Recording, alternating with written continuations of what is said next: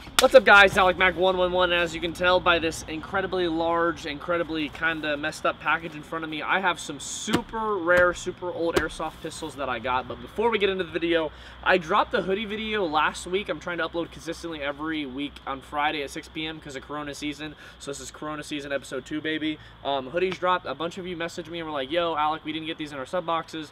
So I will put that in the card if you want to watch the video um, and just see the hoodies. I have hoodies and then I actually just ordered some t-shirts as well. So the hoodies and everything, they'll actually be in the merch shelf below my Teespring page. Um, but let's get into the video. So I have here an Inokatsu, which probably most of you honestly have never even heard the brand of. And you guys kind of have to look so I'm gonna make you guys kind of guess in a sense how old this gun is and how old this gun is. I have this high cappy here for the end just because I think it's pretty. This is obviously a new one. Um, but this gun may be older than some of you guys, and this gun also may be older than some of you guys airsoft. I remember when both of these came out, I was a very young airsoft player. These were way too expensive for me to ever dream of getting, but I found this on eBay. I actually bought this from a guy on eBay that was from Texas, and then this one I found from Japan. This was shipped from Japan. I'll show you some close-up on the box when we get to that, but it is super old. The box was literally almost destroyed, um, but first pistol is an Inokatsu and this one should be easy to guess the age on. Inokatsu 100th anniversary Colt 1911. And so I actually, I've opened this one already. I have not opened the other one. I got this one like two weeks ago, but I figured it'd be cool to kind of do a double video on them. And this gun, I first time I took it open, I was like, this is literally the craziest, coolest gun I've ever seen in my life. And so I'm showing some close-ups here, but this thing, when I picked it up for the first time, I was like, bro, that feels like Flex and Ackle 1911. Like that feels literally full steel everything. When these retailed, I remember they came out on Red Wolf back when Red Wolf, I think they're still, Red Wolf's still one of the biggest like sites, but I remember when they came out on Red Wolf, I was like, little 13 year old Alec Mac was like, oh my gosh, if I can ever own one of those. Like it was just so, it was so cool. I don't know. I don't remember exactly how I felt as a kid, but I was like, man, eventually if I were able to own one of those, and now that I'm 24, I have the ability to obviously buy more expensive guns, and you guys eventually in the future will hopefully be able to buy some more expensive guns as well. So it came like this. This is the original mag. It uses a CO2 magazine, and then it was also, the guy included a green gas magazine, or uh, like propane magazine, but he said it does not work with propane magazines or green gas. You literally have to use CO2 because the slide does not like blow back because this thing is so heavy and this is like a normal recoil spring but because this entire body is stamped steel it is basically almost impossible to have it recoil with even propane which is crazy because I have lots of high capas like this that have nicer aluminum like frames and stuff and they're really high quality and some steel ones but like this thing is so old and so rare that it like that you have to have uh, CO2 to blow it back, which is, I think is just really, really cool. So this is the M1911. Some of the trades on this are honestly like the coolest I think I've ever seen in my life.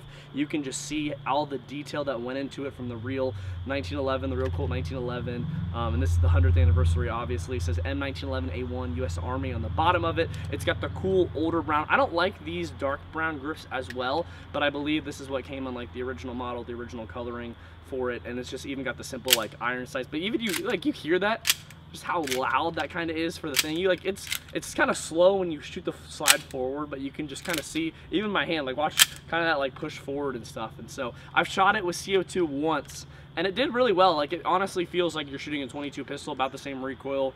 Um, sometimes kind of feels like the same noise, honestly. But that is pistol number one, and this one is super, super rare. However, the next pistol is the rarest pistol I have ever, ever owned. But even like, look at this packaging, man. See that like the quality that goes into some of this packaging and Inokatsu specifically like a brand, they literally have multiple layers for that. I think that's dope.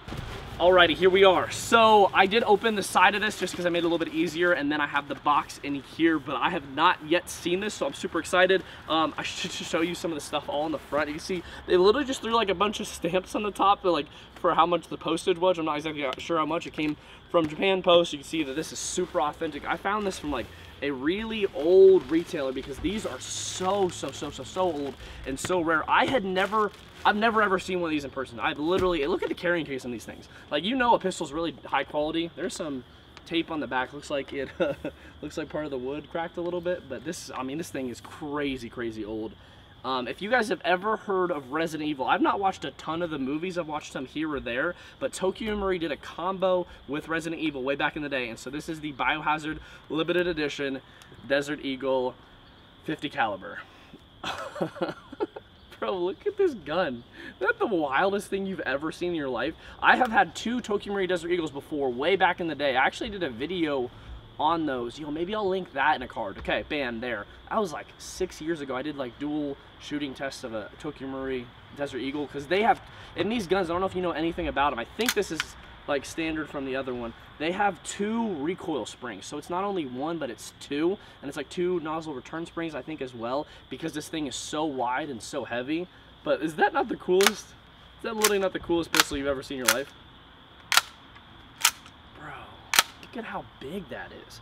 I don't know if this is ever realistic to use in a game. I don't know if I will ever realistically use it in a game, but just to have as like a cool collector piece. And so it also has like the Raccoon City grips here. Um, the grips are really wide, which I like because it gives you kind of like that big feel. Um, kind of feels like I'm about to shoot a Modern Warfare Desert Eagle in Gulag or something, depending on if I get knocked and destroyed by the boys um, or rezzed or not. But this thing, dude, this I can't literally.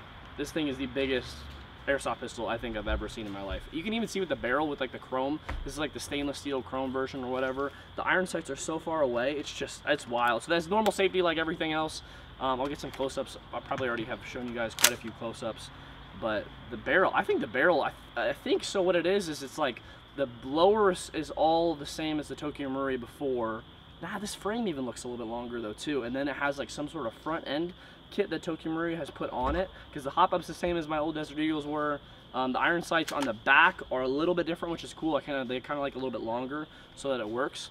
Um, it just kind of like makes it a little bit easier if that makes sense. And so it kind of like, dude, even to line up those sights is absurd. Obviously in airsoft you don't need sights that much, but man, this thing is so cool. Magnum Research, Minneapolis, Minnesota, made in Japan, um, Tokyo Marui, uh, trigger. I think I think everything else is pretty much stock except for like the grip and then the, the barrel at length. I had a silver chrome one and then I think I had a black. I mean, I actually had two black Desert Eagles back in the day, but I have not had a Tokyo Marui Desert Eagle in forever. I always wanted to field them. They actually shot really, really well, so I would assume this one's kind of the same. I think the inner barrel only goes out until about that same distance right there, so I don't think that it's a longer inner barrel or anything. It'd be really cool if it went through, but from what I can tell, this is all hollow right here. But the lines, honestly, the lines on this are like so, so good. I, dude, I didn't even know. Like, how would you use this in a holster or like anything?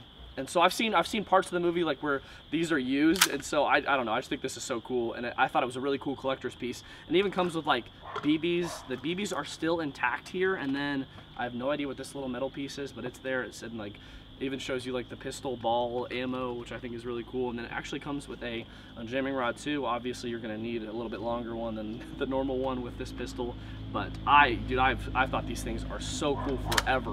Also, I do want to ask you guys, if you guys want to see a Tokyo Marui high kappa build video, I've been building them for a little while now, and this is the most recent one that I'm kind of working on. And so I don't know if you guys would be interested in that. I watched some stuff by like Demo and some other dudes that do really cool high kappa videos, and so I've gotten pretty decent at learning how to build them and do all the maintenance and stuff. Um, I don't know AEGs, I don't know Polar Stars that well, but high kappas I'm pretty good with, I think. And so if you guys want to kind of see something maybe from the ground up, I just bought from Evike uh, a Tokyo Marui 5.1, which is actually will be part of kind of next week's video. I bought a mystery box, and so I'm kind of getting back to the roots. I think you guys have kind of missed that. And so I know we can't play right now with Corona season because it sucks, but I do think that a mystery box will be sweet. So next week's video will be a mystery box video, but this has been Alec Mac 101, literally the rarest pistols I think I've ever seen or gotten. Let me know if you think there's a pistol that's rarer out there and maybe I'll be able to get my hands on it eventually. But this has been Alec Mac 101 and I'll see you guys later.